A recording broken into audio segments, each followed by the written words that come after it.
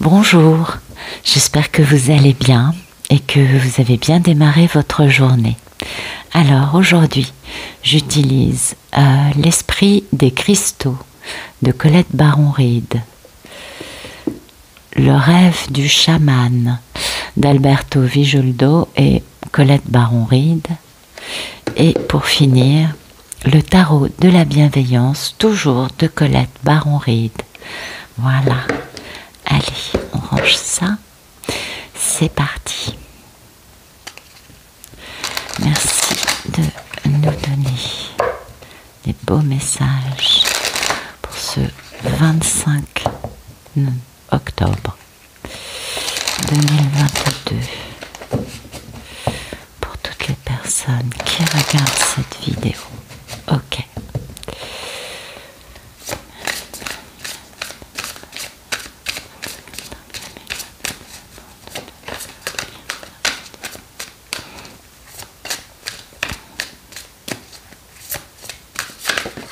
Ok.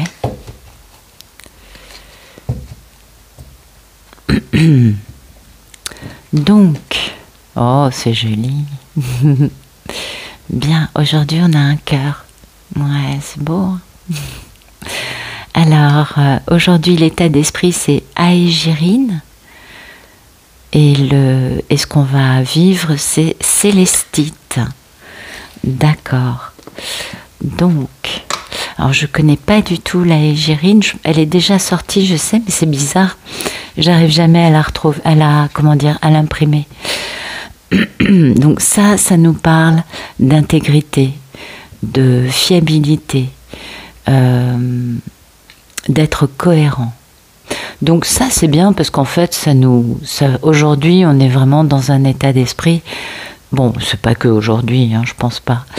euh, de, de, de vraiment ne pas compromettre notre nature profonde. Vous voyez, tout ce qui est notre vérité, c'est intègre et c'est essentiel.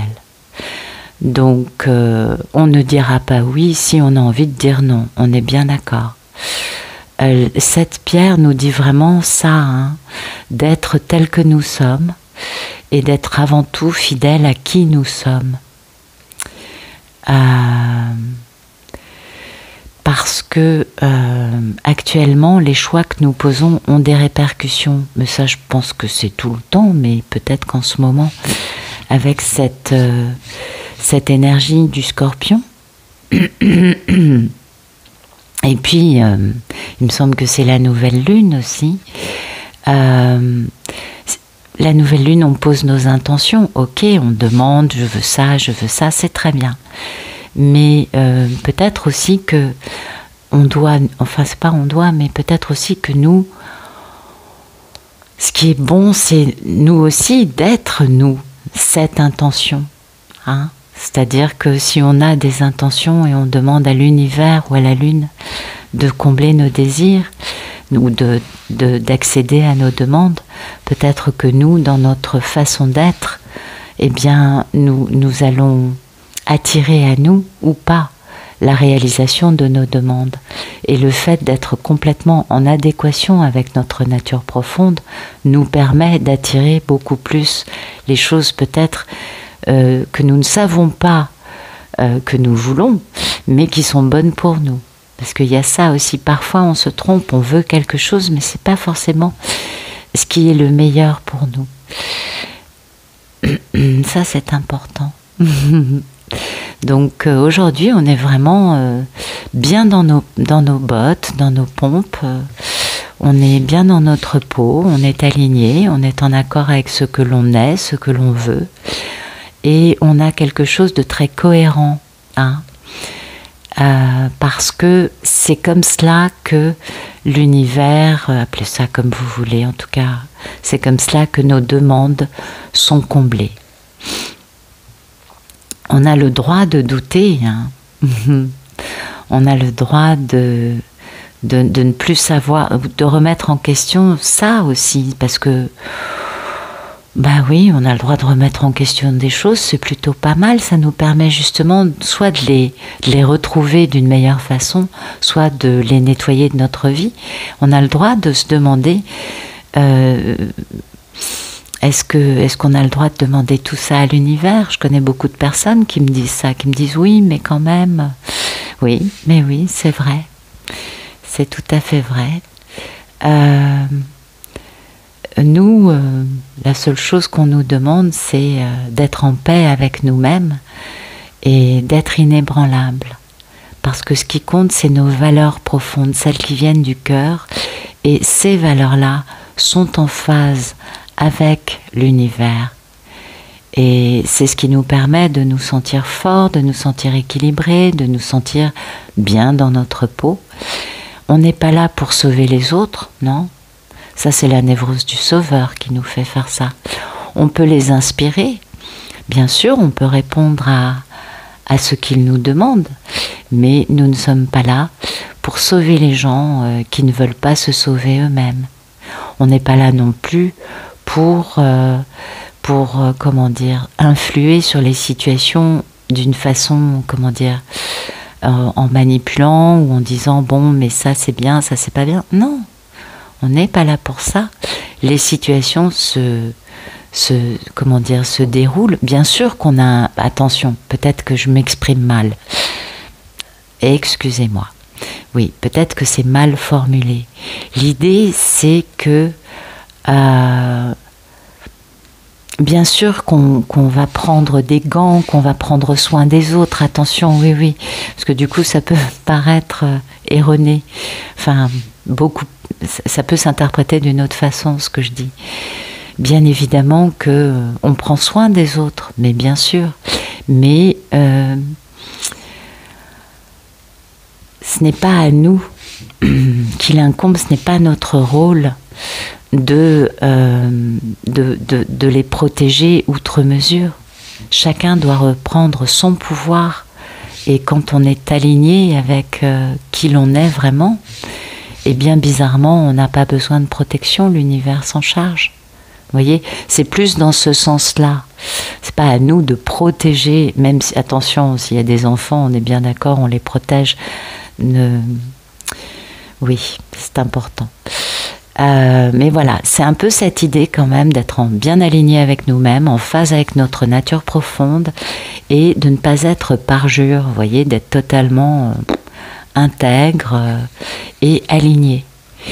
Et puis, ben, bien évidemment, la célestite, c'est une pierre qui nous connecte avec les anges, avec cette énergie divine. Et oui, c'est une pierre qui nous permet de canaliser les messages de nos guides. Euh, peut-être qu'aujourd'hui, on va plus canaliser que d'autres moments parce que l'énergie est dans ce sens-là. En tout cas, euh, on, reçoit beaucoup, hein, beaucoup de nos guides, des anges, de l'univers. Euh, et du coup, ben, on est bien équilibré, on est harmonieux, on est, on est vraiment en phase avec ces messages et ces, que l'on reçoit et notre énergie du coup est totalement posée, vous voyez.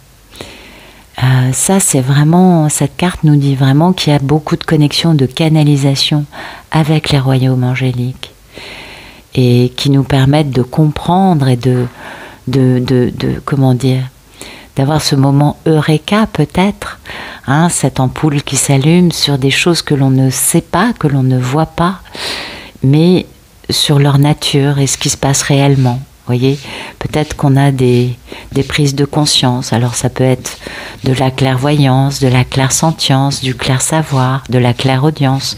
Il y a plein de façons différentes d'être un médium, nous sommes d'accord. Et, euh, et là, on est vraiment euh, dans une bonne connexion avec, euh, avec les entités divines qui nous entourent. Et du coup, on a beaucoup plus de facilité à nous sentir dans cette joie, dans cet amour, peut-être aussi de l'espoir, ouais, c'est pas mal, et, d'être bien, quelles que soient les circonstances qui nous entourent. Euh, en tout cas, on est très connectés et euh, je pense que ça, vous devez le ressentir. Plus on avance et plus on se dit, mais c'est incroyable, ils sont en permanence là. Parfois, je leur dis, mais vous pouvez me laisser un moment de répit? Je pense que vous aussi, par moment, vous devez vous dire ça. Euh, mais mais c'est merveilleux, c'est sublime. on a cette très grande chance d'être, euh, d'avoir des êtres de lumière qui nous, qui nous accompagnent et qui nous entourent.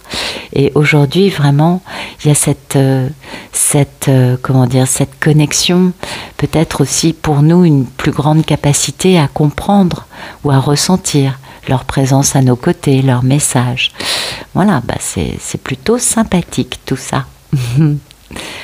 Alors, on va mettre ça là. Ouais.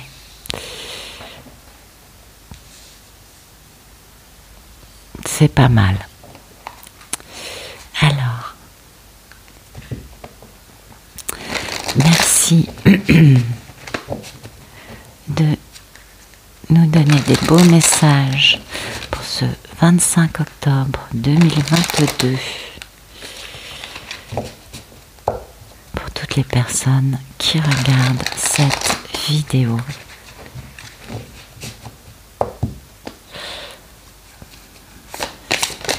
Ok, d'accord. Oui, ben voilà, pont céleste, oui, ça, correspond assez bien à ce que je vous disais juste avant. Et puis le rassemblement, oh c'est joli, regardez. Aujourd'hui on a plein de fées hein, qui sont à nos côtés. En tout cas sur cette carte on a des fées. Tout est lumineux, toute vie est lumineuse. Toute, voilà, toute forme de vie est lumineuse et les fées sont là, hein, qui permettent euh, de nous aider, de nous accompagner, comme nous le disait l'Aégérine. On, on, est très accompagné, on est très en phase avec euh, ce monde invisible. Et puis euh, aujourd'hui, on ressent vraiment ces possibilités de poser un pont, hein, de, de, de s'unir, de se rassembler, de communiquer, de, vous voyez, cette notion quand même de pouvoir avancer. C'est beau. Aujourd'hui, on se sent en sécurité, on se sent tranquille. On peut accepter l'aide qui vient à nous parce que ça nous semble aligné, cohérent, naturel. Peut-être qu'on a besoin aussi d'un peu d'encouragement, de soutien. Peut-être qu'on est un petit peu fatigué. Peut-être que euh, qu'on se sent un peu usé. Hein plus que d'autres moments. Peut-être que oui, les portails énergétiques ou la vie que l'on mène nous a un peu, euh, un peu plus éprouvés que d'autres moments. C'est possible. En tout cas, euh, peut-être que pour certains, hein, parce que j'ai l'impression que c'est pas du tout les mêmes messages que. Il y, a la même idée, mais c'est pas la même chose que ça. Non. Euh, pour certains, il y a un peu cette notion, euh, euh, comment dire, peut-être qu'ils se sentent seuls et peut-être qu'ils ont besoin de sentir qu'ils ont du monde autour d'eux, qui, qui, sont là pour les aider à avancer. Hein. Euh, ouais.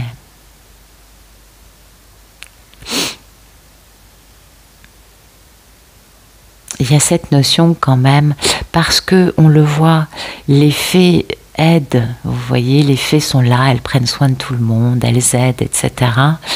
Peut-être qu'il y a pour certains un besoin euh, de, ressentir cette aide, de se sentir soutenu, aidé, guidé, protégé, euh, d'avoir l'impression euh, peut-être que certains en ont vraiment besoin, plus que d'autres et, bien demander cette aide, demandez à vos guides et vous verrez que vous allez recevoir cette aide parce que ben, les anges sont autour de nous, nos guides nous observent, nous écoutent et nous aiment. Et ça, c'est important. Euh, donc il y a vraiment cette notion aujourd'hui de, pour certains d'avoir besoin d'un soutien, d'une aide, euh, d'être entouré de cette euh, d'un sentiment d'amour, d'un sentiment de reconnaissance peut-être aussi. Et puis, euh, pour cela, il y a peut-être un sentiment dans un dans, dans une partie de leur vie, je ne sais pas, ça peut être dans toute leur vie ou dans juste un aspect de leur vie, d'avoir une espèce de gouffre, hein, d'avoir quelque chose qui, euh, qui est infranchissable. Hein. l'impression de d'être un peu au bord de ce gouffre, voyez, de ne pas pouvoir euh, échapper à ça. Et euh, parce que ce qu'il y a derrière n'est plus n'est plus envisageable, c'est le passé. Hein. Et puis il y a peut-être aussi un sentiment d'urgence. Euh, parce que se retrouver coincé au bord d'une falaise, d'un gouffre, c'est quand même quelque chose qui n'a rien d'agréable, on est bien d'accord. Euh, alors pourquoi est-ce qu'il y a ça? Ben, Peut-être parce que la vie vous force, entre guillemets, vous, vous oblige hein, à vous poser des questions. Peut-être parce que pendant longtemps, on a reporté des choses que l'on sait pourtant importantes et inéluctables, et que du coup la vie nous met face à ce précipice pour nous dire bon maintenant faut y aller. Vous voyez, il y a un peu cette idée-là. Alors c'est pas du tout les mêmes messages, hein, on est d'accord. On a vraiment, euh, c'est intéressant. J'aime bien quand les cartes nous donnent plusieurs, euh, plusieurs énergies comme ça. Euh, donc voilà, il va, bah oui, la seule chose qui reste à faire, c'est un peu l'idée de devoir sauter dans le vide. Hein. Eh oui. Ou peut-être tout simplement de, pouvoir emprunter le pont céleste. C'est-à-dire, oui, il y a un grand gouffre, mais en fait, il y a un pont qu'on ne voit peut-être pas, qui nous paraît euh, invisible, hein, dans ce qui nous paraît impossible. Et le pont va nous permettre de faire ce grand saut en toute sécurité. Parce que euh, parfois, on ne se sent pas prêt à vivre certaines choses pour X ou Y raison. Et, euh, et, la vie est obligée de nous mettre face à cette euh, situation qui a un côté inéluctable, un côté un peu euh, bon ben voilà, soit tu y vas, soit bon bah tu vas débarouler la falaise. Enfin, puis surtout, on s'imagine plein de choses. Savez comment c'est Si cette chose on a on a procrastiné pendant longtemps, c'est que ça nous fait peur quelque part. Donc voilà, se retrouver un peu entre le marteau et l'enclume au bord d'un gouffre en ayant peur de justement être projeté jusqu'au fond. Donc c'est très douloureux, c'est très effrayant, on le comprend bien. Et eh oui. Alors qu'en réalité, il y a ce pont céleste qu'on ne voit peut-être pas, qui va nous, qui va nous, nous permettre de traverser cela en toute sécurité, hyper protégé, entouré d'amour. Il suffit juste de dire oui. Il suffit juste en soi d'accepter euh, d'y aller, vous voyez. Euh, de rester dans une dans cette affirmation positive va permettre justement de commencer à entreapercevoir ce pont céleste, c'est-à-dire de, comprendre bah, tout va bien, tout est parfait. L'univers a nos meilleures intentions à cœur et quelle que soit la situation, on va trouver une possibilité de franchir ce gouffre, cet abîme, cette, enfin bon, appelez ça comme vous voulez, cette, situation grandement problématique qui nous fait peur et qui nous fait peur depuis un certain temps, certainement. Donc, euh,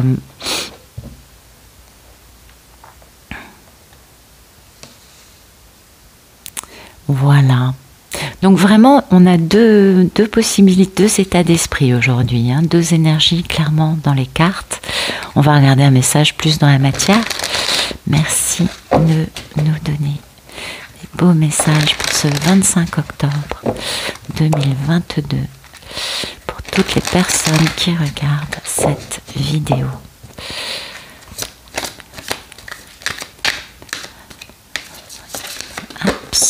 Bah donc. Ouais. Waouh, c'est beau. la carte de la justice, c'est le numéro 11. Bon, ça, c'est le Rider Waite, hein. c'est pas le Marseille. Euh, je ne tire pas le Marseille. Euh, donc, on a cette notion quand même. Alors, ça peut nous parler dans plein de domaines différents. Soit on a un contentieux et la décision sera positive pour nous soit on a une situation dans notre vie, alors ça peut être donc un contentieux, un, procès en cours, vous voyez, une histoire avec la justice. euh, soit on a une situation dans notre vie qui nous paraît terriblement euh, désespérée, déséquilibrée, on ne sait pas trop comment l'arranger. Et puis, bah, justement, aujourd'hui, on va réussir à remettre les choses en place d'une façon équilibrée afin que toutes les parties concernées soient satisfaites et qu'on puisse revenir à une paix, à une tranquillité, à un équilibre.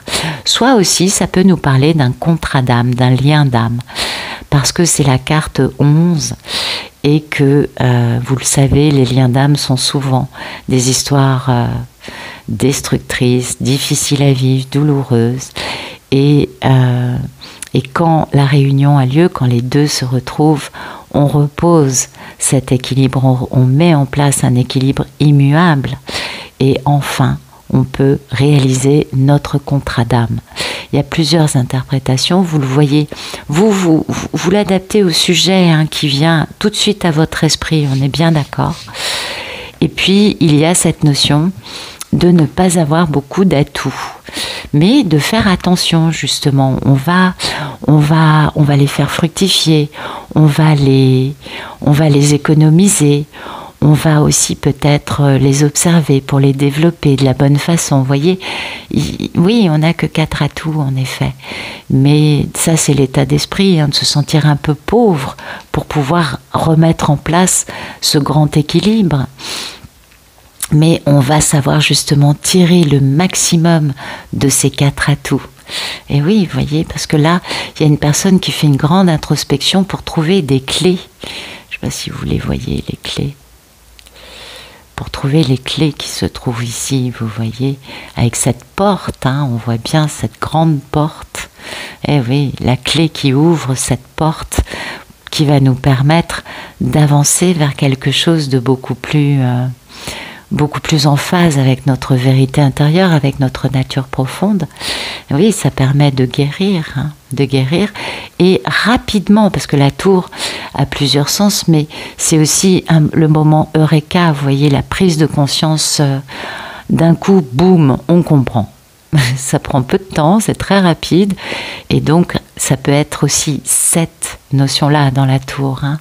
une prise de conscience très rapide euh, et la capacité du coup à soit poser un grand geste d'amour, soit euh, comprendre qu'il faut faire un geste d'amour pour avancer.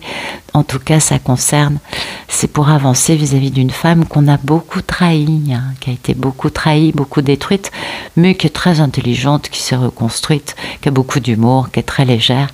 Et cette femme, euh, voilà, la personne qui va faire ermite a vraiment très envie de la retrouver, a beaucoup de nostalgie, très envie d'avoir une belle réunion. C'est son âme sœur, hein. Et oui, c'est important. Donc voilà, aujourd'hui, peut-être aujourd'hui, en tout cas, aujourd'hui dans un premier temps, peut-être intellectuellement, peut-être énergétiquement, toujours est-il qu'il y a ce sentiment de n'avoir que quatre atouts, mais de vouloir résoudre cette situation de la bonne façon pour que tout le monde soit heureux. Euh, alors vous adaptez ça, ça peut être dans le travail, dans l'amour, dans la famille, dans les amitiés, ça peut être dans beaucoup d'autres sujets. Euh, ce qui vous a traversé la tête quand je parlais de justice, ça doit être le bon sujet pour vous. voilà. Bah, écoutez, je vous remercie pour votre présence. J'espère que ça vous aura plu et je vous souhaite une excellente journée. À bientôt.